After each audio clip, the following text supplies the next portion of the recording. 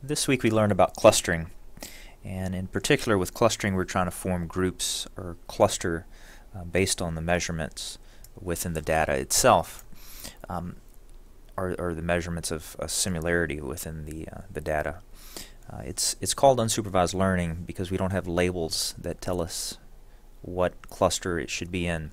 Uh, we don't have anything that tells us the truth because we're trying to discover that as we as we go. Um, this data, for example, um, we can have a number of different clusters. We have 21 instances with this uh, data. So we can have 21 clusters, although that wouldn't make sense because um, then every instance would have its own cluster. And that's not the objective of clustering, you know, it's to form groups. Um, in this particular uh, example, we're going to start off with two, and then we can um, increase uh, to determine what makes sense. Um, usually you use some form of uh, domain knowledge to, de to, determine what, how many clusters you need. So let's begin. Um, we're going to go to XLMiner, and this is the pharmaceutical uh, database. Uh, with this data set here, you have uh, the stock symbol. Here you have the uh, company name, you have the market capitalization, how much, um, how big the company is in billions of dollars, uh, the beta, the price to earnings ratio, return over equity, um, return on assets, um, asset turnover, um, leverage, um, um, how, how, how much money it's making, and the exchange of what it's trading on. So let's start with, we're going to use this here, this clustering. We've never used that before. And here what I've done is I've just included only the um, the numerical um, from C to a K. And I'm just going to cluster on those. And this is the k-means cluster um, k-means algorithms that, that we're using. I'm going to go to next and I'm going to say normalize uh, the input data. Now the reason why you would do this is because um, without normalization for example um, the variable with the largest uh, number um, will dominate the measure. And so with uh, normalization, you're just normalizing the data, um, getting into a normal distribution, and so it's to ensure that the distance measured is um, gives equal weight to uh, each variable. Um, otherwise, you would have something like market capitalization would receive the um, the most emphasis because the numbers are the largest. With normalization, um, these would all be very similar in, in, the, in the measurement. Okay, here, so I, I clicked on normalize input measure, in, in, input um, normalize input data. I'm going to say number of clusters is 2. Um, this is domain knowledge. Um, and this, or it can just be an estimate. We're going to start off with 2. We're going to see if it makes sense if the clusters make sense with the data. And then if it doesn't, well, we can increase it uh, from there. I'm going to say next, and I'm going to click each one of these, say finish.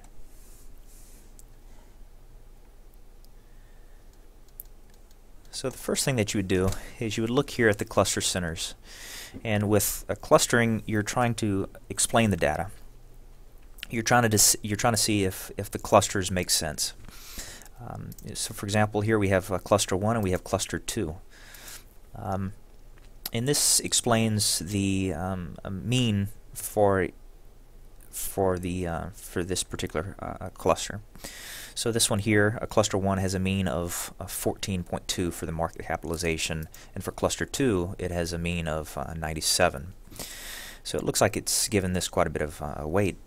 Um, and then we're going to just we're going to try to describe just in kind of just in normal everyday language what each one of these clusters mean. So for example, for cluster 1 we could say this one has um, this cluster has small capitalization stocks um, that are quite expensive because the price to earnings ratio is quite high. The return on investment or return on equity is uh, quite low and um, it does not make all that much profit.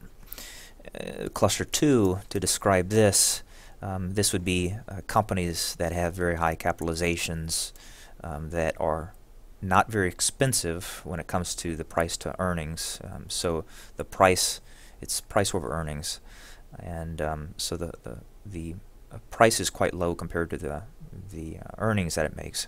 The return on investment or return on equity is quite high.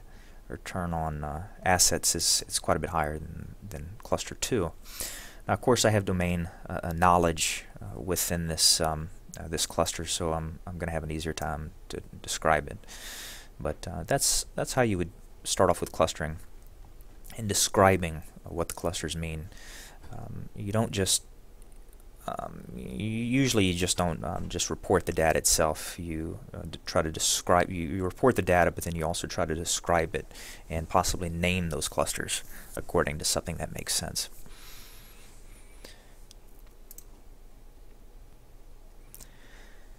The second page uh, shows us how each uh, instance uh, was uh, was labeled. Now, I don't. I haven't included the um, uh, you know, the, um, um, the the the, um, the, the name of the stock, and so I'm going to do that right now. I'm just going to go over here and I'm going to copy. Yeah, let's copy these two two rows or two um, columns, and then I'm just going to insert it. Insert. Oops. Just insert it right there. Okay, so okay.